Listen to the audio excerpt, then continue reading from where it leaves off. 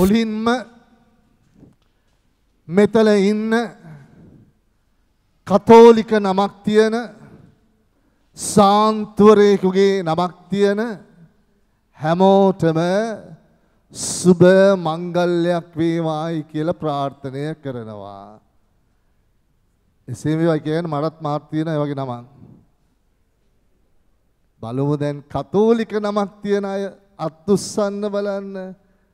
ආ. ටිකක් ඉහළට උස්සන්න බලන්න. කතෝලික නමක් දැන් හොඳට පේන දේ අතුස්සන්න පොඩ හොඳට අත්උස්ස. හොඳට පේන දේ තමයි මේ අත්උස්සන් ඉන්නේ ඔක්කොම වැඩි හිටියෝ.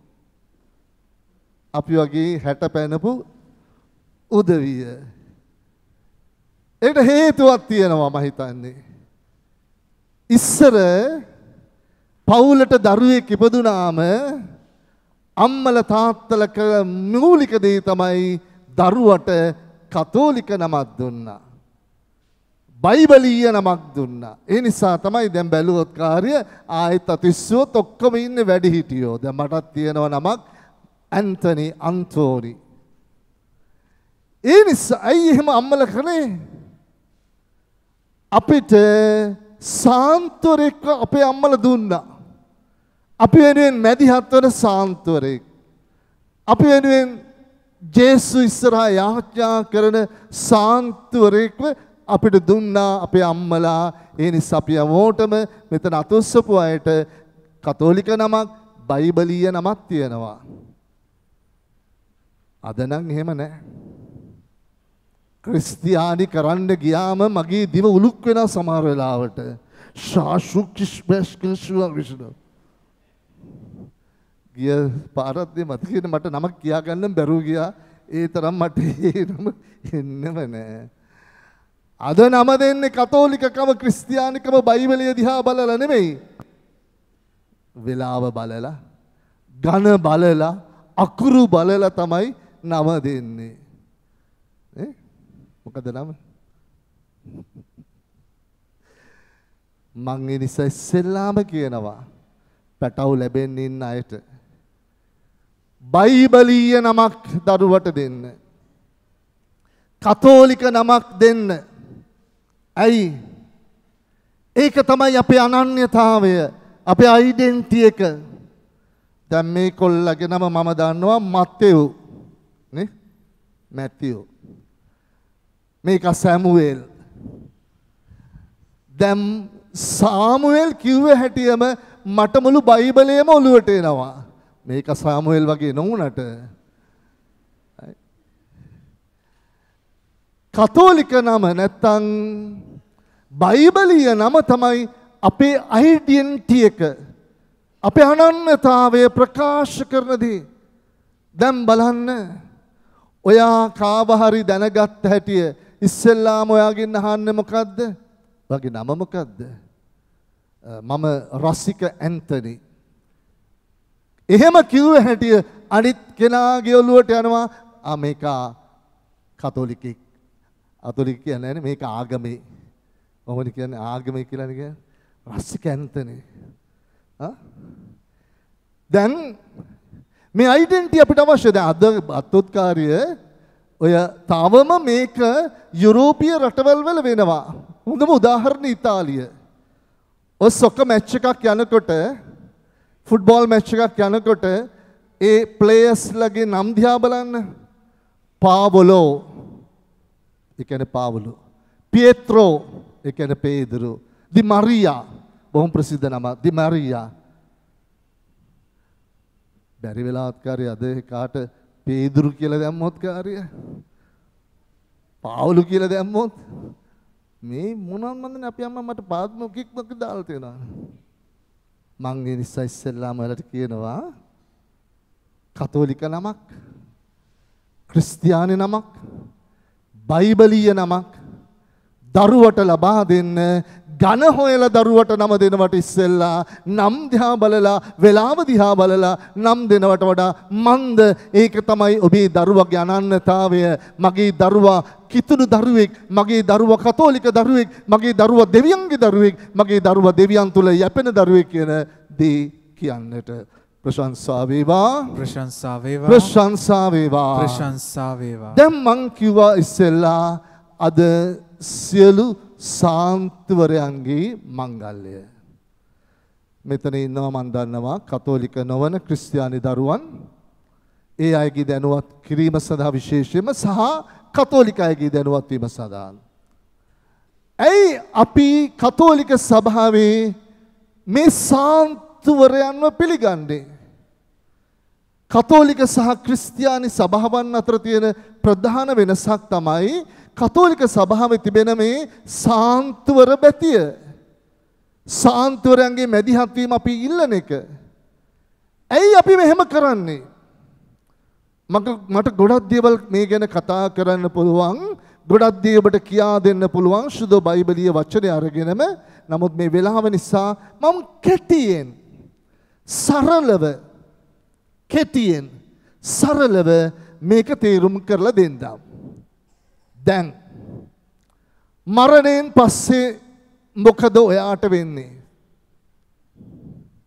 ෂුවර් නෑ. පීටර් මරණයෙන් පස්සේ ඔයාට මොකක්ද දෙන්නේ? ෂුවර් නේද? පීටර් කියනවා ස්වර්ගයට යනවායි කියලා. ඔව්. අපි විශ්වාස කරන සත්‍යතාවය තමයි ක්‍රිස්තියානි දැක්ම තුළ ක්‍රිස්තියානි ගැන්වීම තුළ මරණයෙන් පස්සුව ස්වර්ගයට අපි ආ යුතුයි. සදාතන ජීවිතය අපි අයිති කරගත යුතුයි. එක තමයි ගැන්වීම. එක තම අපේ අදහිල්ල. අපේ ජීවිතයේ කොටස් දෙකක් තියෙනවා. ශරීරය සහ ආත්මය බොඩි ඇන් සෝල් මැරුණම මේ මස්ගොඩ පසට යට වෙනවා ආත්මය ස්වර්ගයට යනවා. හරිද? දැන් බලන්න මෙන්න මේ මේ දිහා බලන්න. ඔයා ඔය විදිහට ජීවත් වෙනකල් ඔයාට කියනවා මිනිස්සෙක්. human being. හරිද? හොඳට තේරුම් ගන්න. you are a human being. හරිද? මැරුණට පස්සෙත් ඔයාට කියනවද human being කෙනෙක් කියලා? මිනිස්සෙක් කියලා? මැරුණ හැටිය කියන්නේ මොකක්ද? රෝහිණී කියලා මම දන්නවා. රෝහිණී මාත් මැරෙනවා, ඔයත් මැරෙනවා. තරහ වෙන්න එපා මේ කිව්වට. ඔයා මැරුණ හැටියේ ඔයාගේ ගෙදරට ආපු මිනිස්සු අහනවද රෝහිණී ආවද කියලා? රෝහිණීව ගෙනාවද කියලා? මොකද කියන්නේ? බොඩිය ගෙනාවද? නේ? ඔයාට මට ඔක්කොන්ට වෙන දේ මට නමක් තියෙනවා. ප්‍රියංකර ඔයාට ප්‍රියංකර කිව්වට ප්‍රියංකරව ගෙනාවද කියලා අහන්නේ මරුණම. බොඩිය ගෙනාවද? ඒ කියන්නේ හියුමන් බීන් කියන කන්සෙප්ට් එක. මනුෂ්‍යයා කියන කන්සෙප්ට් එක මරණයත් එක්කම අහිමි වෙලා යනවා. අහිමි වෙලා යනවා. එහෙමනම් ඒ අහිමි වෙච්ච කන්සෙප්ට් එකට මනුෂ්‍යයා කියන කන්සෙප්ට් එක අහිමි වුණයින් පස්සේ ආත්මයට ලැබෙන කන්සෙප්ට් එක මොකද්ද? ආත්මය කොලෙසද හඳුන්වන්නේ? අපි කියනවා මරුණයින් පස්සේ ඔයා මම හොඳින් හිටියොත් ඒ ආත්මය ජේසු ගාව දිව්‍යයන් ගැන ගාවට යනවයි කියලා. විශ්වාස කරනවද? විශ්වාස කරනවද? මරණයෙන් පස්සේ ආත්මය යනවා. ආ. අන්න ඒ ආත්මයට දෙන දෙවියන් වහන්සේ ගාමට යන ඒ ආත්මයට දෙන අනෙක් ශුද්ධ වූ නාමය තමයි සාන්තුවරයා. සාන්තුවරයා. දැන් එයා හියුමන් බීන් කෙනෙක් නෙමෙයි. ජීවත් වුණේ මිනිස්සෙක් හැටියට. එයාට ඇට මස් ලේ නහර තිබුණා. දැන් මරණයෙන් පස්සේ එයාට ඒ දේවල් නැහැ. එයා වෙනම තත්වයක ඉන්නේ. එයා time and space කාලය සහ පරාසය තුළ ජීවත් වෙන්නේ නෑ තව අපි හැමෝම ටයිම් ඇන් ස්පේස් වල ජීවත් වෙනවා අපිට කාලයක් තියෙනවා පරාසයක් තියෙනවා දෙදස් විසියකේ නොයම්බර් පලවෙන්න ටෙරන්ස් කියන මේ මස්ගොඩ තිබුණේ මෙතන කාලයක් පරාසයක් තියෙනවා හැබැයි මරණයෙන් පස්සේ ටයිම් ඇන් ස්පේස් කාලය සහ පරාසය අහිමි වෙලා ගිහිල්ලා ආත්මය යනවා දෙවියන් වහන්සේ ගාවට එතනදී අපි දෙන නම තමයි දෙවියන් වහන්සේ තුළ උරුම කරගන්න ජීවිතයට සාන්තුවර ජීවිතය. ප්‍රශංසා වේවා ප්‍රශංසා වේවා ප්‍රශංසා වේවා ප්‍රශංසා වේවා ඒ නිසා මතක තියාගන්න. ඔයාටත් සාන්තුවරයෙක් වෙන්න පුළුවන්. ඔයත් සාන්තුවරයෙක් විය යුතුයි. තේරුණාද? සභාවේ නම් කරපු සාන්තුවරු ඉන්නවා. අපි දන්නේ ඒ සාන්තුවරු ගැන. හැබැයි නම් නොකරපු සාන්තුවරයෝ ඉන්නවා. ඒ නම් නොකරපු සාන්තුවරයෙක් වෙන්න ඔයාට පුළුවන්. ඒක තමයි අපි දෙවියන් වහන්සේ අපෙන් බලාපොරොත්තු වනදී. ප්‍රශංසා වේවා ප්‍රශංසා වේවා ප්‍රශංසා වේවා. මේ. අද සාන්තුවරන්ගේ මංගල්‍ය දවසේ මම දෙවනුවට හිතුවා හරි ලස්සන සාන්තුවර ජීවිතයක් ඔයාලත් එක්ක බෙදා ගන්නට. මෙතන ඉන්න ගොඩක් දෙනෙක් මේ සාන්තුවරය ගැන අහලා නැහැ. ඔයාලා අහලා තියෙනවා සන්තන්තෝනික මුනින්ද්‍රයා ගැන. සෙබස්තියන් මුනින්ද්‍රයා ගැන, ජූඩ් මුනින්ද්‍රයා ගැන, මිකායල් අග්‍රදූතයා ගැන අහලා තියෙනවා. අහලා නැති ලස්සන ජීවිතයක්. හරි ලස්සන ජීවිතයක් මම බෙදා ගන්නවා. ඒ තමයි සෙන් ජෝසප් of කොපොර්තිනෝ අන්න ඉන්නවා යාළුවා. කොපොර්තිනෝ සුද්දු කොපොර්තිනුහි ජුසේතුමා. අහලා තියෙන අය අත්උස්සන්. ඔය අහලා තියෙනවා. අහලා තියෙනවා. sure very good. අහලා තියෙනවා. ඇත්තටම සර්? ආ. කෙල්ලක් දන්නා පොඩි කෙල්ල. බොහොම හොඳයි. මොකද්ද මෙයාගේ විශේෂත්වය? මොකටද පාවෙනවා තමයි යා. මොකටද එයා ප්‍රසිද්ධ? නැත්නම් එයා? කවුද මොකද්ද කිව්වා? දැන් දන්නවනේ සන්තන්තෝනි කියන්නේ නැති වෙච්ච දේ හොයා දෙන කෙනා. සෙබස්තියන් කියන්නේ ලෙඩ වුණාම යන්න ඕන කෙනා. ජූඩ් තදෙව්ස් කියන්නේ බලාපොරොත්තු සුන් වුණාම යන කෙනා. කපොර්තිනෝ මොකටද ප්‍රසිද්ධ? විභාගවලට සූදානම් විභාග ඊටත් වැඩිය ලස්සන දෙයක්. විභාග හරි. ද? ආ? ඔව් විභාගය කියනේම ওই දෙකම හරි.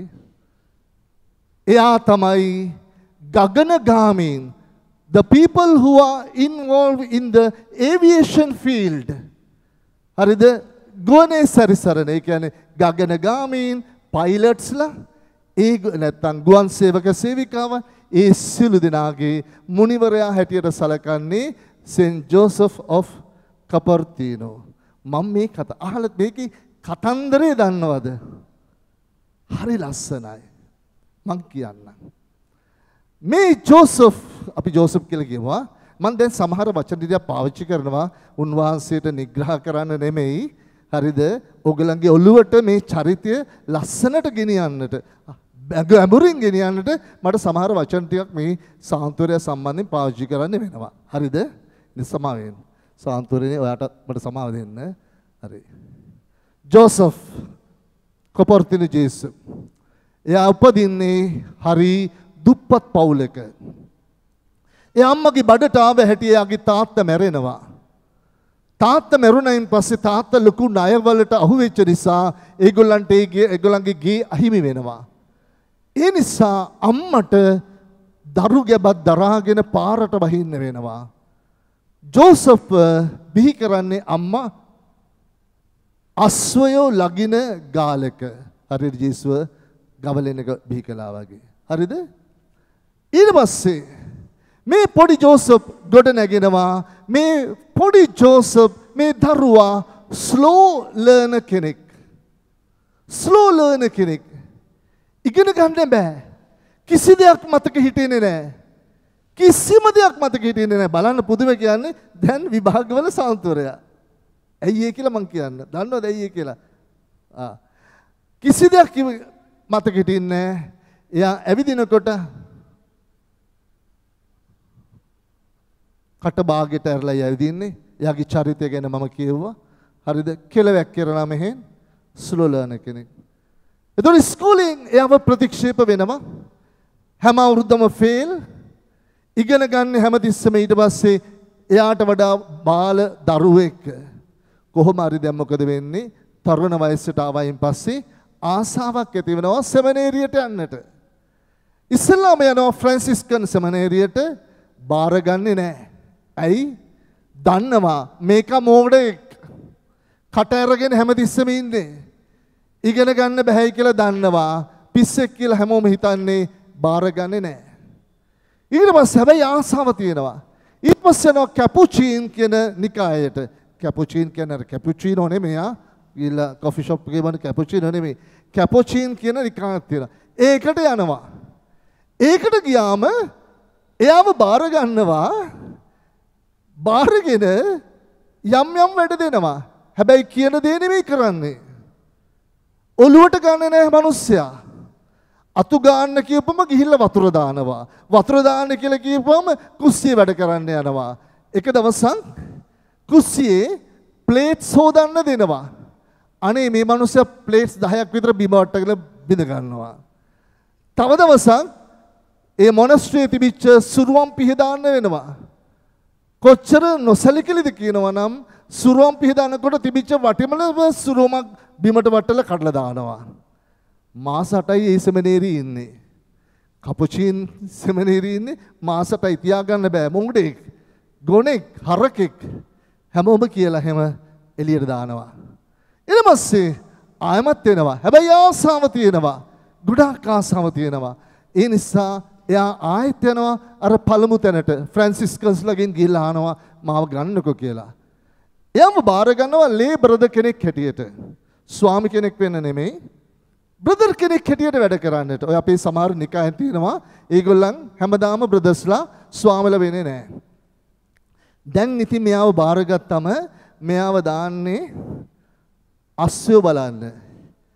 සහ බැටළුව බලන්න. අනි අහිංසකයා ගිහිල්ලා තනි වෙලා අස්ස ගාලේ වැටිලා අස්සයන්ග බලන ගමන් අස්සය එක්ක කතා කරන්න ගන්නවා. බැටළුව එක්ක කතා කරන්න ගන්නවා. ඒ විතරක් නෙමෙයි. තනි වෙලා ඉන්නේ. අස්ස ගාලේ තනි වෙලා. අස්ස එක්ක විතරයි මේ කතා කරන්න ගත්තේ.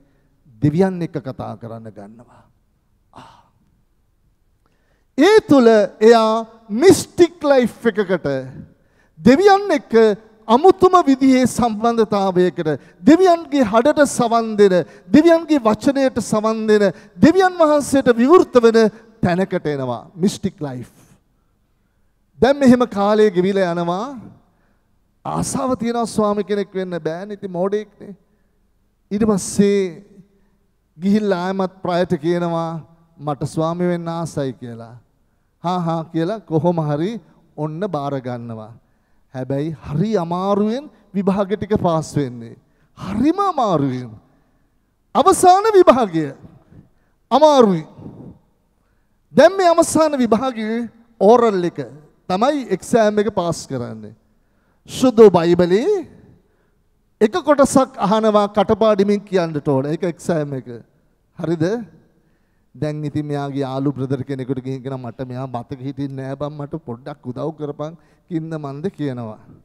අර බ්‍රදර් උගන්වනවා උගන්වනවා ඔළුවට යන්නේ අපි සෙමිනේරි අපි බ්‍රදර්ස්ලා උගන්වනවානේ සපෝට් එක දෙනවානේ.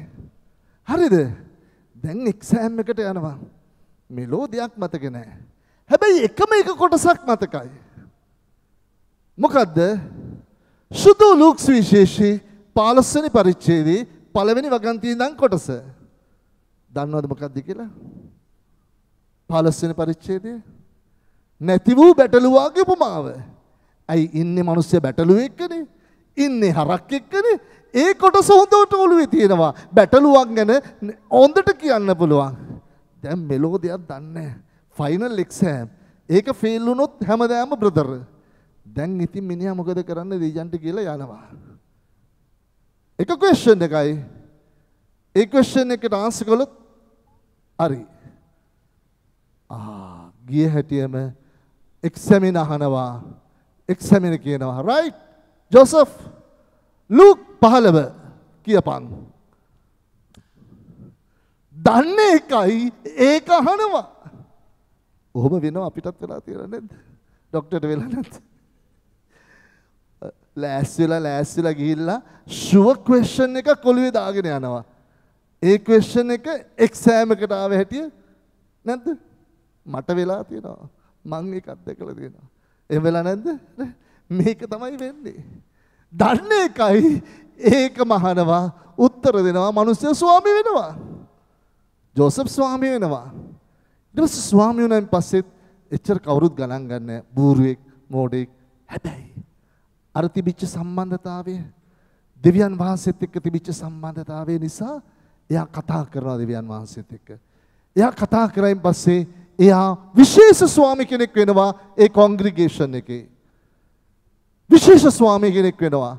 එයා පූජාව තියනකොට මෙන්න මේ වගේ එර්දියෙන් යන්නට නැත්තම් මේ විදිහට අහසේ ඉන්නට පුළුවන් හැකියාවක් එයා ලබනවා. විශේෂ ස්වාමි කෙනෙක් බවට එයාපත් වෙනවා. හැමෝම එයා ගාවට එනවා කන්ෆෙෂන් කරන්න, පාපොච්චාරණය කරන්න. හැමෝම එයා ගාවට එනවා ආශිර්වාද කරගන්න, බින්සාරු කරගන්න, යාඥා කරගන්න. අන්තිමේදී ජෝසප් ඒ තරම් ප්‍රසිද්ධ මෝඩෙක්. දේශනාවත් කරන්න හරියට බෑ. හැබැයි අනිත් පැත්තෙන් හරි ශුද්ධවන්තයි, හරි පවිත්‍රයි විශේෂ පුද්ගලෙක් වෙනවා. ජෝසප් කපර්තිනෝ මැරුණයින් පස්සේ අවුරුදු ගණනාවට පස්සේ ඔහුව සාන්තුර භාවයට ඔසවනවා. මෙන්න මේ හේතුව නිසා තමයි ඔහුට අහසේ පාවෙන්නට පුළුවන් හැකියාව තිබිච්ච නිසා තමයි ඔහුව සලකන්නේ ගගනගාමීන්ගේ සහ පයිලට්ස්ලගේ uh, those who are involved in the aviation field සාන්තුරය හැටියට දෙක එක්සෑම් ෆේල් වෙච්ච බොහොම අමාරුවෙන් එක්සෑම් දාගත්තා. ඒ හේතු නිසා එයාව සලකනවා එක්සෑම්ස් වල ඔයාලා ඔක්කොම කියපුතේ විභාගේ සහ ඊටත් ලස්සනමදී එයාව සලකනවා ස්ලෝ ලර්නර්ස් ලගේ සාන්තුවරයා. ස්ලෝ ලර්නර්ස් ලගේ. අපිට සමහර දරුවෝ ඉපදෙනවා ස්ලෝ ලර්නර්ස් යම් යම් ඩිසීස් රෝගී තත්ත්වයන් එක්ක. මේ සාන්තුරයව සලකනවා ඒ දරුවන් වෙනුවෙන් මැදිහත් වෙන සාන්තුරය හැටියට. ප්‍රශංසා වේවා ප්‍රශංසා ප්‍රශංසා වේවා ප්‍රශංසා වේවා මම ඔබට කියනවා පුළුවන් අය ලස්සන ෆිල්ම් එකක් තියෙනවා ජෝසප් කපොර්තිනෝගේ. ඒ ෆිල්ම් එකේ නම The Reluctant Saint. දාන්න පුතේ. The Reluctant Saint 1963 වල 63 නිෂ්පාදනය වුණේ black and white ෆිල්ම් එකක්. හරි ලස්සනයි. ගිහිල්ලා පුළුවන් නම් YouTube එකේ බලන්න. තව දෙයක් ලස්සන කතන්දරයක් තියෙනවා අපි එමු මේ පණිවිඩයට එක දැන් අහගන්න අපි ජෝසප් දිහා බලලා දෙවියන් වහන්සේ අපිට දෙන්න පණිවිඩය අයිති කරගමු. එක ඉපදෙන්නේ දුප්පතෙක් ලෙස. ජීවත් වෙන්නේ මෝඩයෙක් ලෙස. කවුරුත් ගණන් ගත්තේ නෑ. ජෝසප් හැමෝම ප්‍රතික්ෂේප කළා දෙවියන් ජෝසප් ස්ලෝ ලර්න කෙනෙක් හැකියාවක් නැහැ. සමාජයේ බිඳුවේ හිටිය මිනිස්සෙක්. හැබැයි දෙවියන් වහන්සේට ඔහු වටින කෙනෙක්. දෙවියන් වහන්සේට ඔහු වැදගත් කෙනෙක්. මම ඔබට කියනවා ඔබ හැමෝටම කියනවා ඔබ කොයිතරම් දුර්වල වුණත් ඔබේ දරුවා කොයිතරම් දුබලෙක් වුණත් ඔබගේ ජීවිතේ දුර්වල වුණත් මතක තියාගන්න දෙවියන් වහන්සේට ඔබ වටිනවා. ඔබේ ගෙදර ඇති දුර්වල දරුවෙක් හැබැයි ඒ ඉන්නේ සාන්තුවරෙක්. මාත් කියනවා. ඔබේ පවුලේ ඇති දුර්වල දරුවෙක් හැබැයි ඒ ඉන්නේ සාන්තුවරෙක්. මතක තියාගන්න. අපේ ගෙදර හිටියයි වගේ සාන්තුවරෙක්. මගේ ගෙදර මගේ මල්ලි ආබාධිතයි. හැබැයි මම දකිනවා ඒ මල්ලි තමයි අපේ ගෙදර හිටිය සාන්තුවරයා. අම්මව තාත්තව දෙවියන් වහන්සේට ලං කරපු. ඒ නිසා මම ඔබට කියනවා ජෝසෆ්ල වගේ දරුවන් බිහි වෙනකොට මිනිසුන් මුණ ගැහෙනකොට ප්‍රතික්ෂේප කරන්න එපා. ප්‍රතික්ෂේප කරන්න එපා. ඒ තමයි ඔබව දෙවියන් වහන්සේට ලං කරන කෙනා. එක. දෙක. දෙවියන් වහන්සේට පුළුවන් ඔබවත් සාන්තුවරයෙක් කරන්නට. දෙවියන් වහන්සේට පුළුවන් ඔබවත් ශුද්ධවන්තයෙක් කරන්නට. දෙවියන් වහන්සේට අවශ්‍ය දේ කරන්නට. උන්වහන්සේට වැදගත් ඔබේ අතීතය නෙමෙයි. ඔබේ අතීතය වැදගත් නැහැ. ඔබ මොනවද ඉස්සර කළේ කියන එක වැදගත් නැහැ. ජෝසෆ් ඉස්සර මොනවද කළේ කියන එක දෙවියන් වහන්සේට වැදගත් උනේ නැහැ. හැබැයි අර අස්ස ගාලේ බැටළුවන් එක්ක ඉන්නකොට දෙවියන් වහන්සේ මුණ ගැහෙනවා කතා කරනවා හමු වෙනවා. එතක් පටන් දෙවියන් වහන්සේ ඔහුව වෙනස් කරනවා. ඔහු වෙනස් වුණා. අතීතය වැදගත් නෑ. උන්වහන්සේට වැදගත් වෙන්නේ අද සහ හෙට දවසයි. වර්තමානයේ සහ අනාගතයයි. මේ සිළු සාන්තුරන්ගේ මංගල්‍ය දවසේ උන්වහන්සේ මෙතන ඉන්න හැමෝටම කියන්නේ එකම එක දෙයයි. පුතේ ද්වේ සාන්තුවරයෙක් වෙන්න. පුතේ ද්වේ සාන්තුවර භාවය අයිති කරගන්න. ප්‍රශංසා වේවා ප්‍රශංසා වේවා ප්‍රශංසා වේවා ප්‍රශංසා වේවා